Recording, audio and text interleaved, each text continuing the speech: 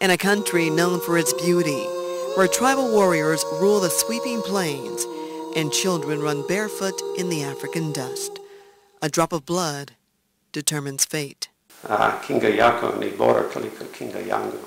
And the Hoosier behind the Swahili dialect I was telling her her immune system's now better than mine. helps patients who test HIV positive combat a virus that wants them dead. You're taking just one. Dr. Joe Mamlin's mission began eight years ago after he witnessed a med student lying in the AIDS ward, waiting to die.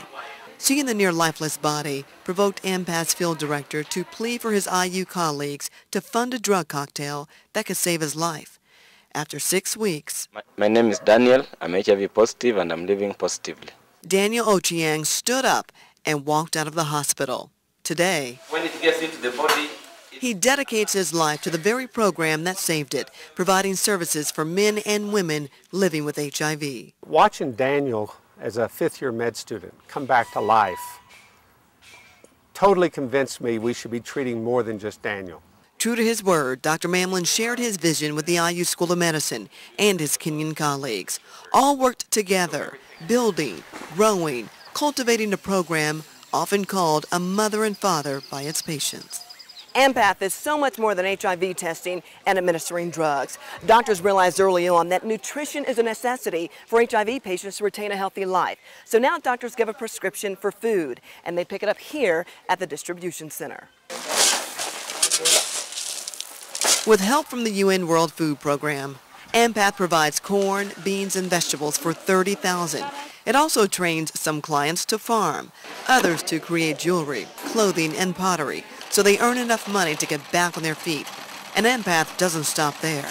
Watu. Watu. Watu. When mothers and fathers die from AIDS, leaving their kids behind, social workers from AMPATH's Orphans and Vulnerable Children program go village to village, providing support to homes run by children. With a tenacious reach that touches 18 sites, AMPATH strengthens families and reduces the stigma associated with AIDS. In fact, we used to, when we find anybody HIV positive, I try to help them to retire very quickly before they die. Dr. Sylvester Kimaiyo helped launch the AMPATH program. He left Eldoret to spend two years on rotation at Wishard Hospital. When I left, I had so many patients I was helping to retire. When I came back, they were asking for jobs uh, because they were now well. You have one big problem. With raw honesty and tough love, You have to take three drugs, and then you will win. That you're going to take them perfectly, perfectly, perfectly. AMPATH sets itself apart with its comprehensive support in treatment. Here go the Kenyans. 1972 Olympian Cosmo Ciele once ran with lightning speed. Now AMPATH's most famous patient is thankful just to walk the two miles for care. What are your prayers of thanks? Oh, I thank God so much because I never thought I would walk that distance. Walking the distance together. It's what Hoosiers and Kenyans have done, one patient at a time.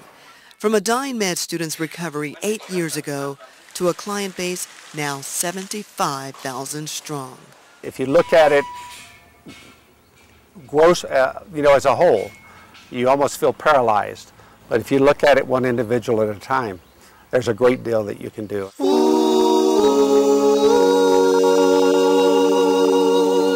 And I think we begin focusing on what we can do.